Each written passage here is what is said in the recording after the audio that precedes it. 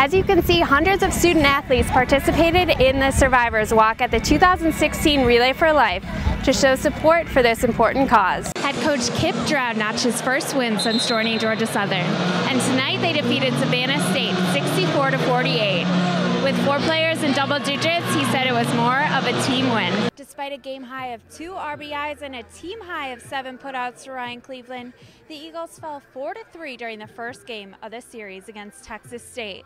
And in the second game, it was just the opposite as the Bobcats took the early 2 to 0 lead. So, going into the locker rooms, what did you tell your players? Well, we were disappointed. We had thir- three fumbles. And Talk about the emotions of this game. Just walk us through what it was like, especially in the first quarter, or in the first half, excuse me, when it was kind of a back and forth scoring battle.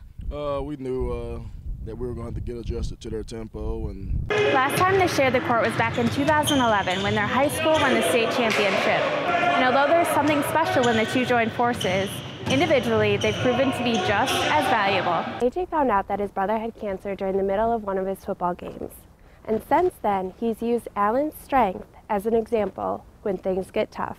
After these midweek games, softball heads to Louisiana Monroe to face the Raging Cajuns in a conference series this weekend.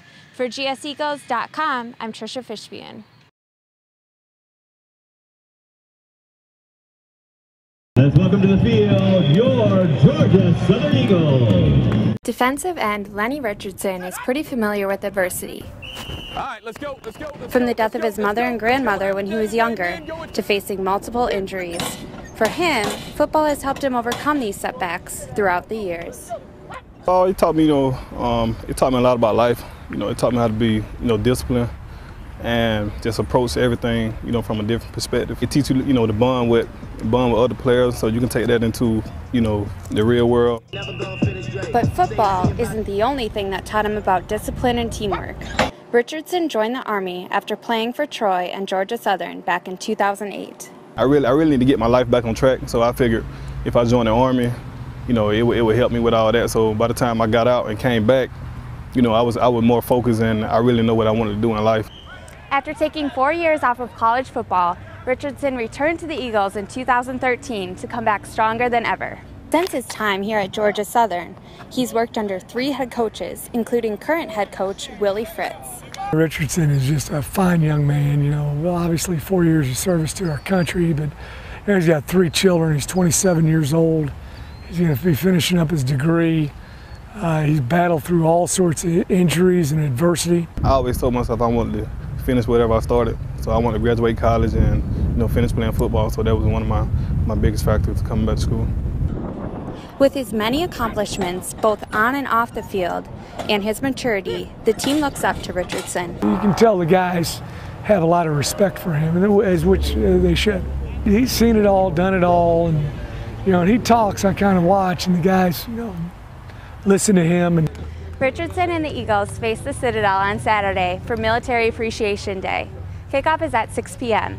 For GSEagles.com, I'm Tricia Fishbune.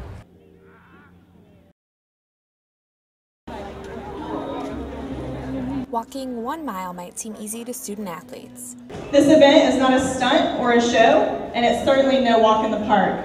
but there's a catch. Doing it in heels. It was very painful. Uh, luckily, it was only a mile, so it wasn't too bad. Men's tennis, basketball, and soccer joined over 300 other men and volunteers for the Walk a Mile in Her Shoes event. It was a fun way to raise awareness about gender violence. It was worth every step. One of the reasons because we have um, female student athletes, and they experience the same thing that all female students experience on campus. And I think it brings awareness not only from our side, but also when you get athletics involved. You get these, you get tall basketball players walking, and it brings people just start looking and start asking questions. What are they doing? And the time spent wobbling in heels was also spent reflecting on the cause. I mean, it definitely makes you think about it more doing stuff like this. You know, uh, we are so busy, so it's sometimes quite hard to think about um, everything else going on. Although the student athletes and associate AD Tracy Ham enjoyed different parts, Taking the shoes off. Well, that cookie I just had was very nice. they agreed the best part was seeing the teams participate. No, just to see the basketball players, the soccer players, um, all the different sporting, to see them walking in shoes, it's a real feat to be able to walk in those shoes. Just seeing everyone have fun and raise awareness, you know, it's great to see uh, the whole community come together and it's great to see how much support everyone showed for this cause. For GSEagles.com, I'm Tricia Fishbune.